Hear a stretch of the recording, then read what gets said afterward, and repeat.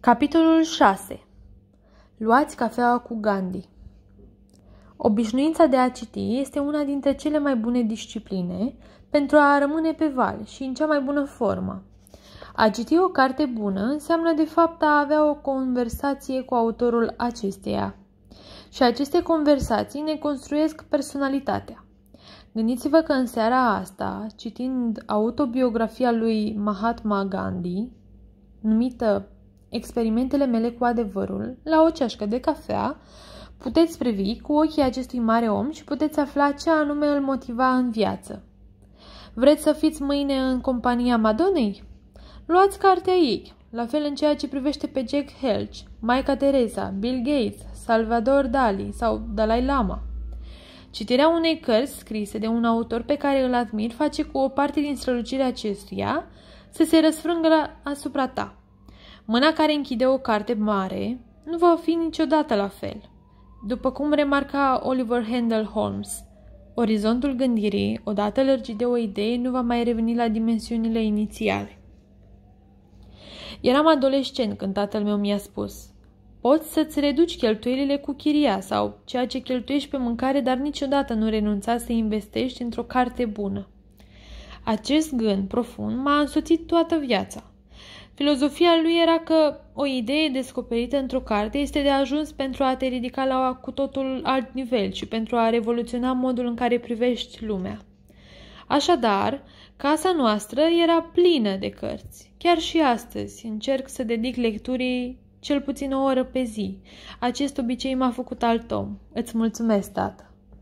Poate că darul cel mai mare pe care îl voi face copiilor mei când voi muri va fi biblioteca mea.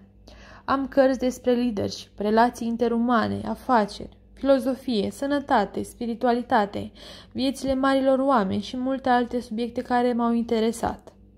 Pe multe le-am ales din librării din întreaga lume, aflându-mă în călătorii de afaceri. Cărțile acestea mi-au modelat modul de a gândi. Mi-au format filozofia de viață. M-au făcut să devin omul care sunt astăzi. Pentru mine, cărțile acestea sunt neprețuite. Este adevărat vechiul, vechiul proverb. A ști să citești, dar nu a citi, este aproape același lucru cu a fi analfabet. Gândiți-vă timp pentru lectura de calitate în fiecare zi. Umpleți-vă mintea cu idei mari și cu gânduri înălțătoare. Folosiți cărțile pentru a vă hrăni sufletul cu speranță și cu inspirație.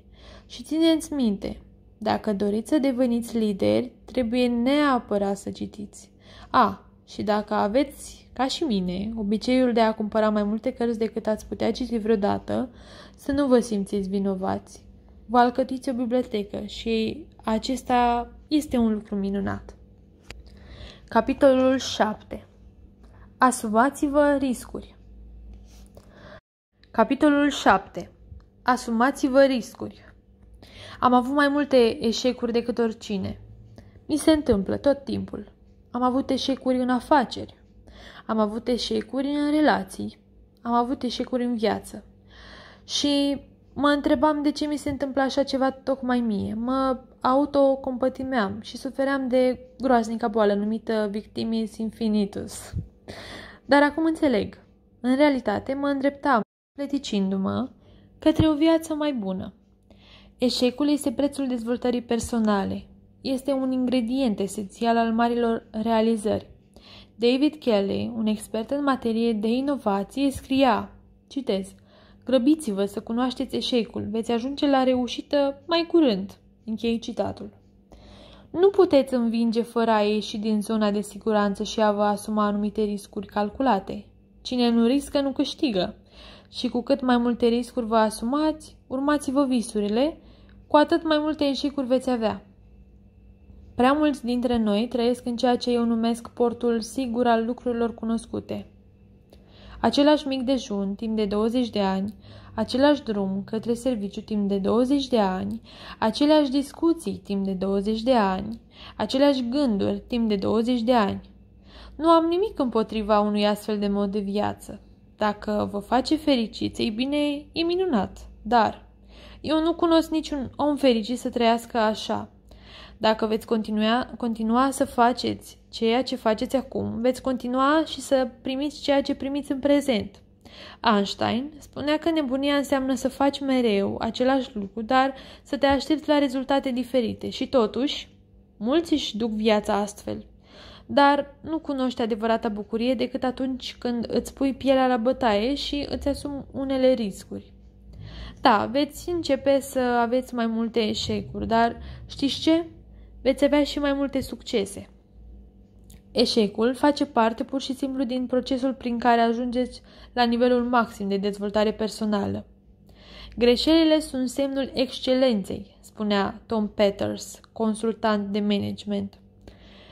Cele mai bune companii din lume au înregistrat mai multe eșecuri decât cele de valoare medie.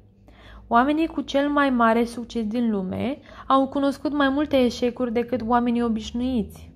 Din punctul meu de vedere, singurul eșec posibil este să nu încerci, să nu visezi, să nu îndrăznești. Adevăratul risc constă în viața fără riscuri. Mark Twain a subliniat perfect această idee remarcând că, peste 20 de ani, veți fi mai dezamăgiți de lucrurile pe care nu le-ați făcut decât de cele pe care le-ați făcut. Așadar, începeți de azi. Cereți masa cea mai bună la restaurantul favorit. Cereți un upgrade la clasa 1. Data viitoare când călătoriți cu avionul. Succes! La locul de muncă cereți colegului de echipă mai multă înțelegere. Acasă, cereți iubitei mai multă dragoste. Făceți-o! Vă provoc! Și țineți minte, nu poți câștiga dacă nici măcar nu intri în joc. Capitolul 8. Să ne simțim bine. Nu de mult, eram la clubul de tenis împreună cu copiii mei, care sunt foarte buni jucători. Eu sunt bun cel mult ca băiat de mici. Un bărbat, după cum îmi părea cam de 70 de ani, a venit la mine și a intrat în vorbă. Interesantă persoană. Avusese o viață plină. După câteva minute, a închis ochii și a zâmbit. Am întrebat, ce este? Răspunsul a fost de neuitat. A, nimic deosebit. Pur și simplu mă bucur de adierea vântului. Perfect. În zilele noastre, în care vrem tot mai mult, avem nevoi tot mai mari și avem tot mai multe, este atât de reconfortant să auzi pe cineva vorbind de plăcerile simple ale vieții. Vreau să fiu bine înțeles. Nu am nimic împotriva achizițiilor materiale. Contrar opiniei generale, călugărul care și-a vândut Ferrariul nu este un manifest împotriva câștigării de bani și a satisfacțiilor unei vieți îndestulate. Mesajul meu era acesta. Amintiți-vă ce anume este mai important pentru a avea o viață minunată. Conduceți un BMW, purtați Prada, stați la Four Seasons și câștigați sume uriașe dacă acestea sunt lucrurile care vă fac fericiți. Există cu siguranță nenumărate satisfacții materiale care ne fac într-adevăr mai plăcut drumul vieții. Nu trebuie să ne simțim vinovați dacă ne bucurăm de ele, dar, vă rog, nu uitați de acele comori simple, dar atât de frumoase pe care trebuie să le iubim pe acest drum. Lucruri cum ar fi legăturile sufletești profunde, împlinirea printr-o activitate care ne aduce satisfacții, explorarea lumii, cunoașterea măreției naturii, de exemplu, un minunat apus de soare care îți umple sufletul sau o lună plină pe un cer plin de stele. Cele mai mari plăceri ale vieții sunt și cele mai simple. Îmbogățiți-vă viața cu cât mai multe și veți fi fericiți și puteți începe cu adierea dulce a vântului. Capitolul 9 Făceți-vă timp să gândiți. Datorită activității mele, am avut șansa de a întâlni cu regularitate oameni interesanți din toate sectoarele societății. Mă întâlnesc cu producători de film, cu poeți, cu studenți străluciți, cu profesori experimentați și cu întreprinzători vizionari.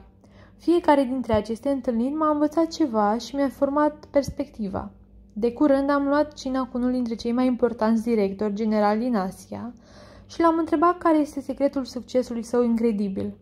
A zâmbit, spunând, mi-am făcut timp să gândesc. În fiecare dimineață petrece cel puțin 45 de minute cu ochii închiși, adâncit în gânduri și reflectând adânc. Nu face un exercițiu de meditație, nu se roagă, gândește. Uneori analizează situația afacerilor, alteori se gândește la noi piețe de desfacere, iar alteori meditează la sensul vieții sale și la ce anume dorește de la viață. Adeseori imaginează pur și simplu noi modalități de a se dezvolta pe plan personal și profesional. Din când în când petrece între 6 și 8 ore făcând acest lucru, stând în tăcere, nemișcat, cu ochii închiși, meditând. Ați face timp să gândești este o superbă strategie pentru performanță, în leadership și în viață. Prea mulți oameni își petrec cele mai multe ore ale zilei angajați exclusiv în activitate, în aspectul executiv al lucrurilor. De curând, un client mi-a spus, Robin, uneori sunt atât de ocupat încât nici nu mai știu de fapt ce obțin agitându-mă atât, dar dacă este ocupat, tocmai cu lucruri pe care nu ar trebui să le facă, Rareori avem dezamăgiri mai mari decât atunci când ne investim tot timpul, energia și potențialul, urcând un munte numai pentru a constata odată ajunși în vârf că am urcat muntele greșit. Gândirea și autoanaliza ne asigură că ne aflăm pe muntele pe care dorim. Peter Drucker, expert în management, a spus-o atât de bine că nimic nu e mai inutil decât să faci eficient ceea ce nu ar trebui să faci deloc. Primul pas pe cale spre dezvoltare personală este gândirea și conceperea unei strategii. O viziune clară este condiția reușitei. Gândind mai mult, veți înțelege mai bine că care sunt prioritățile și lucrurile asupra cărora trebuie să vă concentrați. Acțiunile vă vor fi mai bine definite, mai deliberate și mai bine orientate.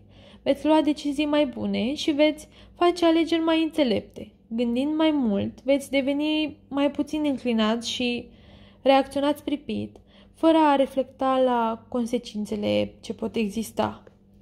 Veți avea o idee mai limpede despre modul cel mai bun de a vă folosi timpul, ceea ce la rândul său vă va economisi timp, iar timpul de gândire vă va aduce idei senzaționale și vă va inspira cele mai mărețe visuri.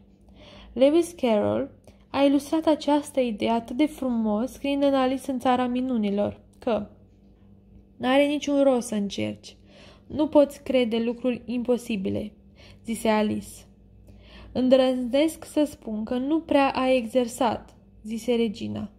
Când eram de vârsta ta, făceam asta o jumătate de oră pe zi. Câteodată credeam în șase lucruri imposibile înainte de micul dejun. Închei citatul. Capitolul 10 Performanța începe cu eforturile suplimentare. Tocmai îi lăsasem la școală pe Colby și pe Bianca și mă îndreptam spre birou când am avut o revelație care m-a făcut să trag pe dreapta. Stăteam acolo, pe marginea șoselei, cu luminile de avarie aprinse, tastând ideea pe Blackberry pentru că doream să vă împărtășesc și dumneavoastră. Iată ideea cea mare. Performanțele în leadership și succesul încep cu eforturile suplimentare.